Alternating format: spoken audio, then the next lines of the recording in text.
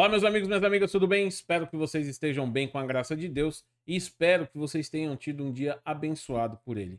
Nesses dias que estamos em luta aí, e, e já faz algum tempo, somente as bênçãos divinas aí no nosso dia para alegrar um pouco, tá? Gente, tô com uma notícia aqui que impactou a China. A China sentiu sim é, esse acordo, já até se expressou sobre ele, um acordo entre Reino Unido Austrália e Estados Unidos, tá?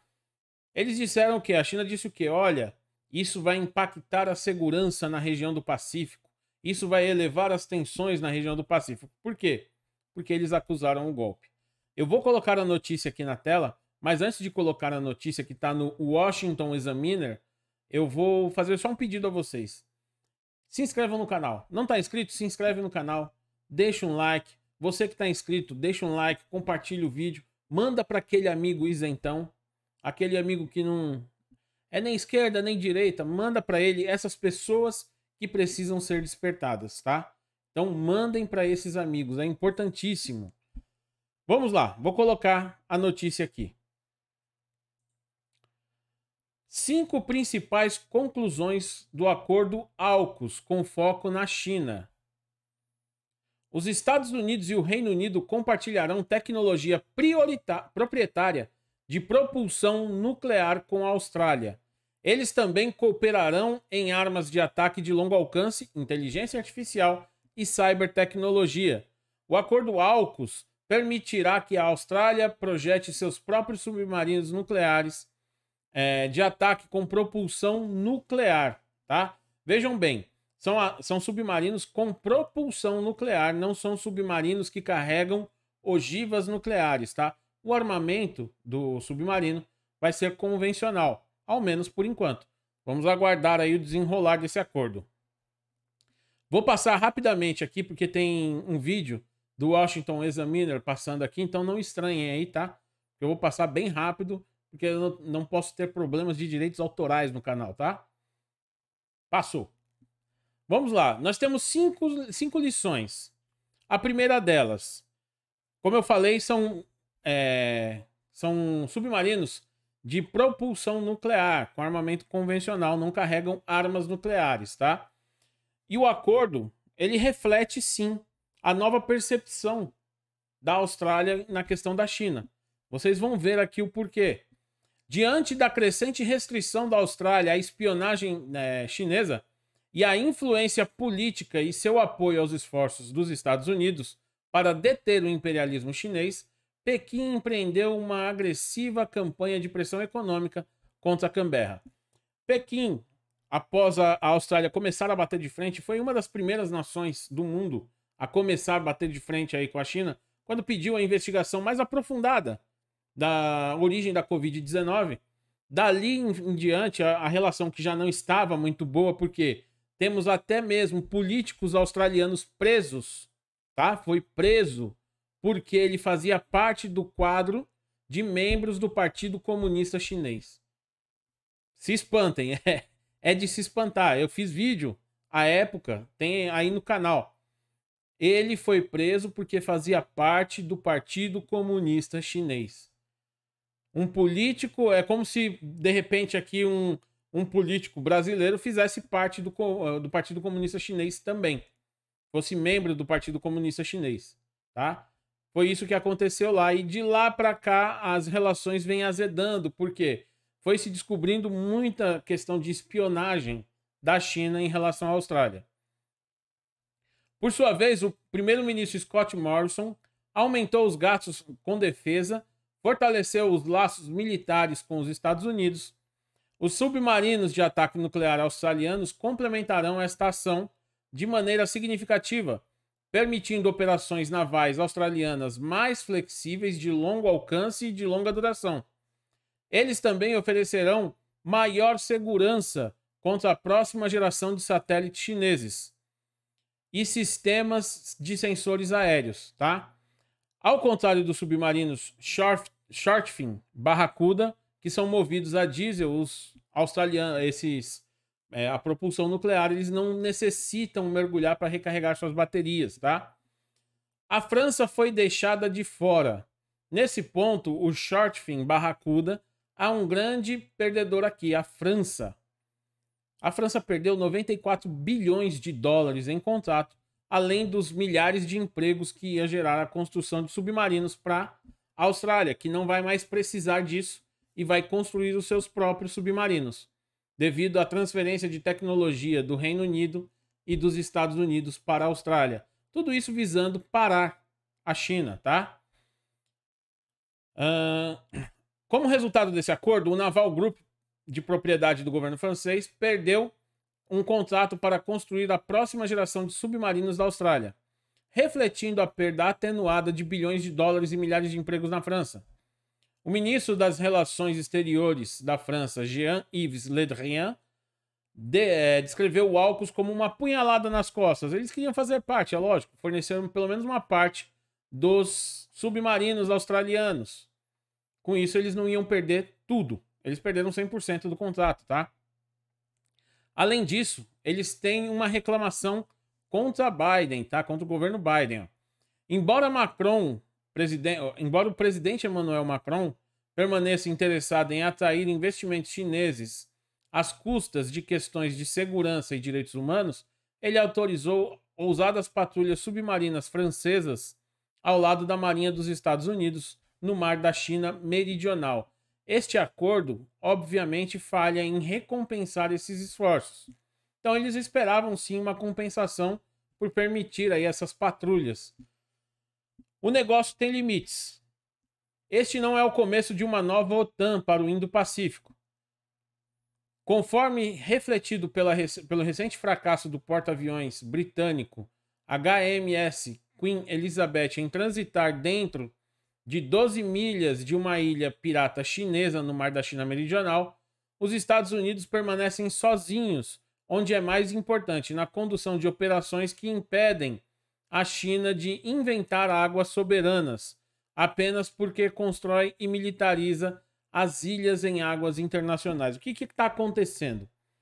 A China vem construindo ilhas artificiais, diversas delas, no, no Mar da China Meridional e vem militarizando essas Chinas, essas ilhas. A partir do momento que eles militarizam, eles dizem: olha, essas aqui são águas chinesas. Ou seja, eles estão anexando águas internacionais ao seu território. E os Estados Unidos têm tentado sozinho impedir isso. Precisa de ajuda, claro. Reino Unido e Austrália têm que participar também para que esse acordo é, flua bem e cause os efeitos necessários aí para conter a China. A menos a menos e até que as marinhas australiana e britânica se juntem às patrulhas de liberdade de navegação dos Estados Unidos, dentro de 12 milhas das ilhas piratas da China, este negócio permanecerá limitado em seu impacto estratégico, tá? Mesmo assim, a China já acusou o golpe, já sentiu, tá? A Nova Zelândia não é mais um membro sério da parceria Five Eyes. Tem um acordo chamado Five Eyes aí, que é os Estados Unidos, Austrália, Canadá e a Nova Zelândia, que estão juntos aí. E eles não confiam mais na Nova Zelândia, porque a Nova Zelândia quer se manter neutra. Olha, eu não vou nem contra Pequim, nem vou contra os Estados Unidos. É, eles querem ser a Suíça da Oceania, tá? Isso não é surpreendente. Embora a Nova Zelândia adote uma política estrita de proibição de armas nucleares, isolou seus parceiros da Aliança de Segurança Five Eyes, Austrália, Reino Unido, Estados Unidos e Canadá, e se recusou a juntar-se aos esforços liderados pelos Estados Unidos para desafiar o comportamento agressivo de Pequim.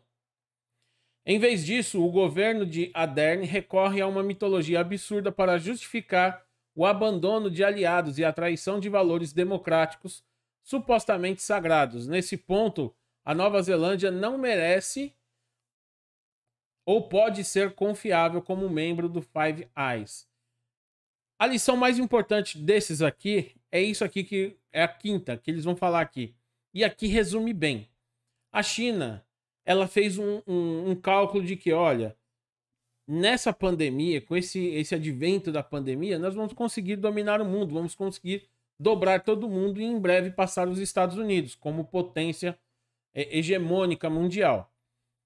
A China presumiu que poderia alavancar seu poderio econômico para evitar uma ação internacional mais coordenada contra ela. Em vez disso, a arrogância e a intimidação de Pequim estão lentamente despertando o mundo democrático para a necessidade de resistir até a União Europeia, antes dócil à agressão chinesa.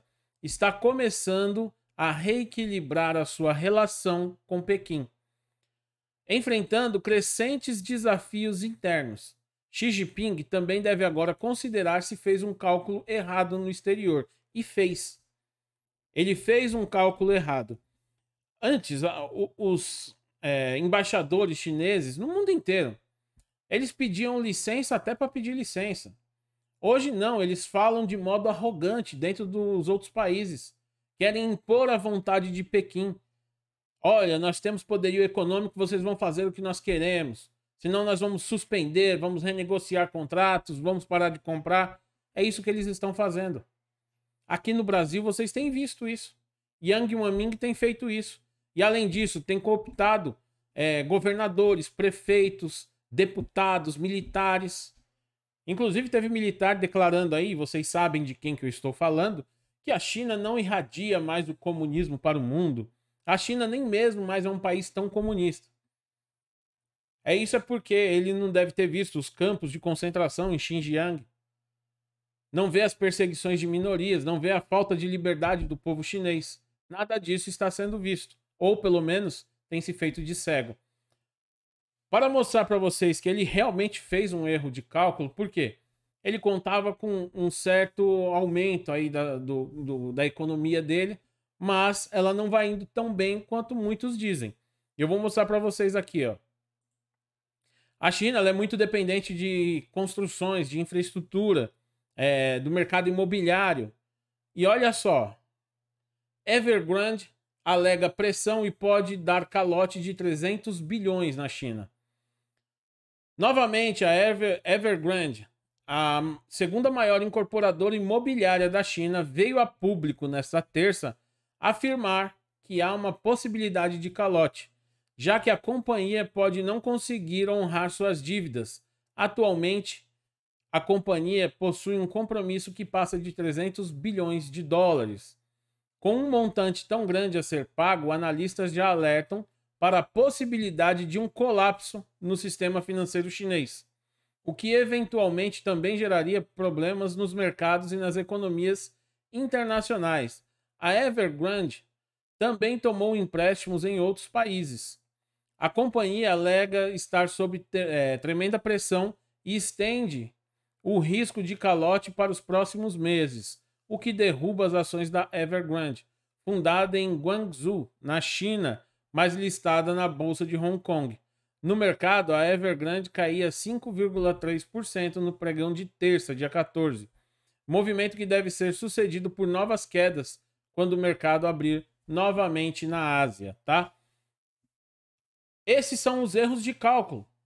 Eles não contavam com essas coisas. Então, aí, além disso, tenho, eu fiz até um vídeo falando sobre isso, porque há uma dívida oculta, uma dívida interna da China que eles não divulgam. Mas o presidente do Citibank de Hong Kong falou sobre isso. E essa dívida pode chegar a 5 trilhões de dólares. É uma dívida gigantesca. São dívidas feitas por municípios, dívidas feitas por é, províncias, para a questão de infraestrutura e agora eles não conseguem pagar. Estão dependendo de ajuda do governo central para conseguir pagar essas dívidas. Isso tem um impacto muito grande e é uma bolha que pode estourar a qualquer momento. E parece que o momento está chegando. Vamos ver muita coisa acontecendo no mundo, uma crise muito grande, um, um colapso no sistema financeiro chinês vai causar muita perca no mundo, muita, vai cair é, a produção de tudo, vai ter inflação, vai ter, sabe, desemprego. Mas talvez seja necessário para que o mundo acorde e barre a China. Ou barramos ela agora, ou vamos acabar virando uma província chinesa. Tá certo? Grande abraço. Que Deus abençoe a todos.